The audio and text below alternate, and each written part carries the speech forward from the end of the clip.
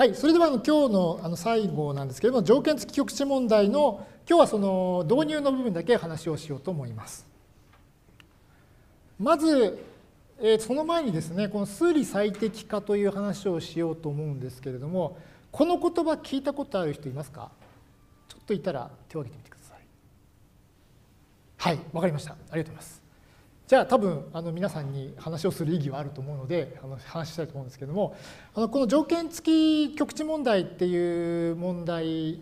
が考えられる背景の一つにこの数理最適化というあのもっと大きな問題があります。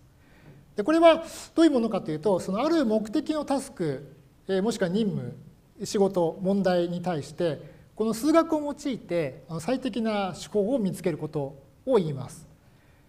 ちょっとかなりあの抽象的で分かりにくいと思うのでこれからこの後あのもう少し具体的な問題例を出します。でそこではあの目的関数と制約条件という2つのものを考えるんですね。で目的関数はその、まあ、ある任務のタスクの適切さの指標になるものです。で制約条件というのはそのタスクが満たすべき条件です。まああのこう言われてもちょっとピンとこないだろうと思う人もいると思うので、まあ、あの具体的な話はもう少しこの後します。でこの最適化問題っていうのはいろいろなあの形での最適化問題っていうのがあるんですけれどもその中でその数理最適化問題というのはこの今述べたような数理最適化というのを用いて解く問題のことを指します。なおこのこの最適化というのはですねあのもう少し広い範囲で言うとオペレーションズリサーチっていうあの言葉聞いた人ことはある人いるかもしれませんがオペレーションズリサーチというあのもっと大きなあの分野の中の一つでもあります。でオペレーションズっていうのはその何らかのあの計画ですね、えーとまあ、何かの仕事の計画です。でこれ歴史的にはその戦争の時にですねこの軍需物資をこう輸送したりあの配送したりする際にこうそれを適切に行うという意味でのオペレーション、まあ、作戦ですけれどもねオペレーション作戦という意味もありますけれどもそういうそういう作戦における効率化っていうのをがもうですねあの研究分野の発祥の一つになっているそうです。でオペレーションズリサーチというのはあの、えーと、すごくあのこの社会の中では広く考えられている問題で、えーと、一応あの僕の聞いてる範囲では日本 OR 学会というオペレーションズリサーチの学会も存在します。まあ、そのぐらいあのえーとまあ、いろんな人の関心を集めている分野です。まあ、その中でこの数値数理最適化というのを考えます。で、ちょっとその数理最適化のもう少し具体的な問題の例をちょっと挙げてみましょう。例えばですね、皆さん、あのコンビニエンスストアってよく、まあ、ほぼ毎日使うと思うんですけれども、このコンビニにはですね、商品を配送する必要がありますよね。あのもちろん商品がなくなっては皆さん買い物できなくなりますから、そうすると、その例えば商品配送におけるルート最適化といった問題があのあるでしょう。えーと、でここでいくつかその問題に課せられる条件というのがあります。まずここではその架空の問題ですけれども今ここではその配送センターからですねそのコンビニ30店舗に商品を配送したいと。でその商品配送すべき商品の体積は与えられているものとします。まあ、体積というのはまあ箱ですね。大体段ボールで配られてとしてその段ボールの容積が与えられていると。であと使えるトラックは5台ありますと。で、各トラックの積載量、まあ、体積はまあ等しいものとします。で、この時にその5台のトラックのがそのの総走行距離を最小にする輸送ルートは何ですかという問題ですね。例えばこういう問題がこうあるわけです。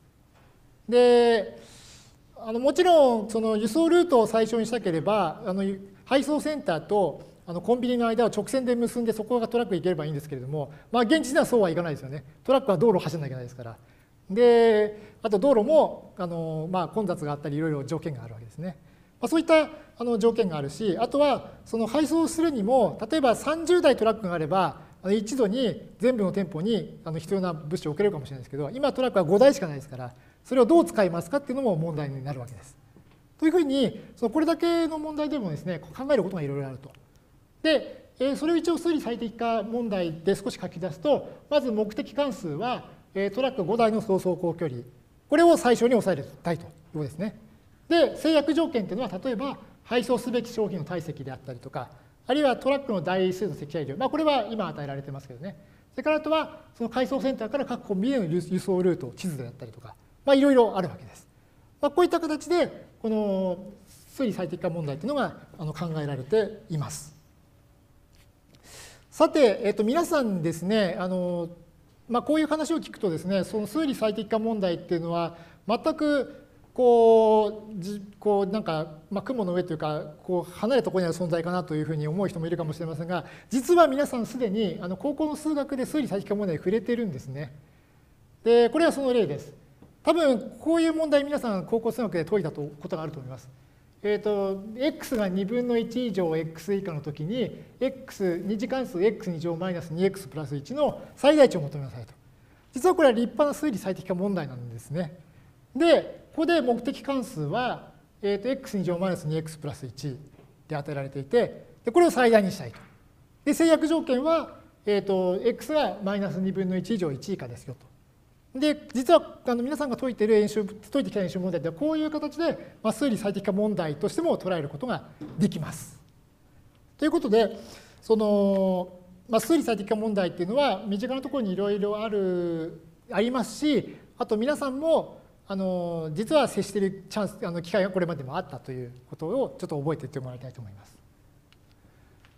でここでえー、と扱うのはですね、条件、その中でも条件付き局地問題と呼ばれるもので、まあ、これはあの数理最適化問題があのと直ちに解かれるというわけではないんですが、その数理最適化問題の解の候補を見つける手法の一つと位置づけてください。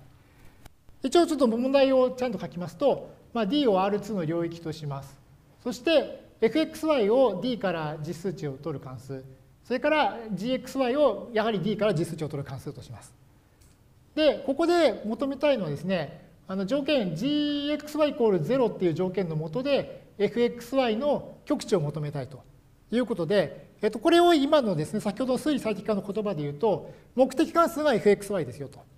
で、制約条件は gxy イコール0ですよと。まあ、そのように捉えることができます。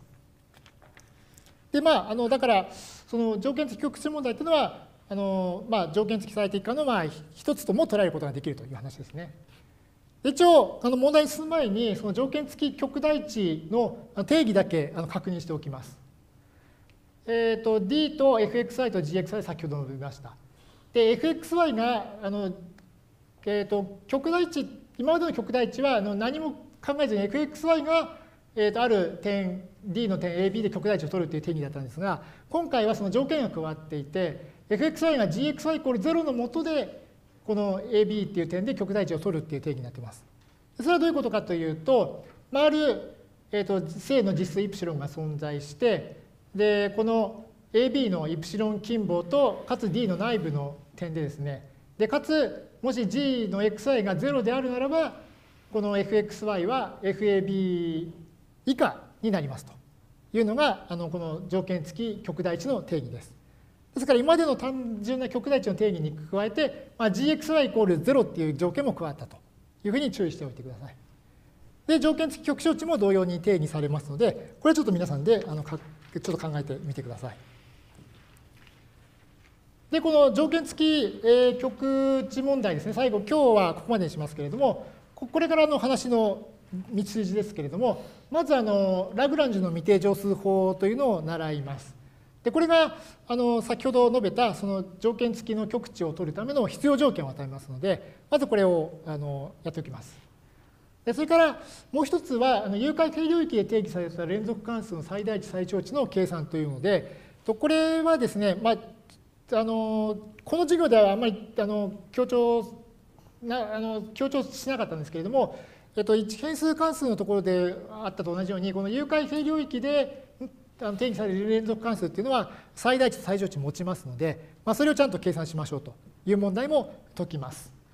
でこれもこれにこのラグランジの未定乗数法も使うというわけですね。はい、ということで、えっと、次回はあのこういう話をしていきたいと思います。というわけであのまず今回の、まとめです。今回はあの因関数定理の、まあ、応用とですねあの例を例題も交えながら説明しました。そしてあの条件付き極値問題の、まあ、導入の部分として、あ、数理最適化という話を紹介しました。で次回はその条件付き極値問題であのラグランジュの未定乗数法を中心に、えー、先ほど述べた話題を紹介しておきたいといきたいと思います。はい、それでは今日の講義はここまでにしたいと思います。お疲れ様でした。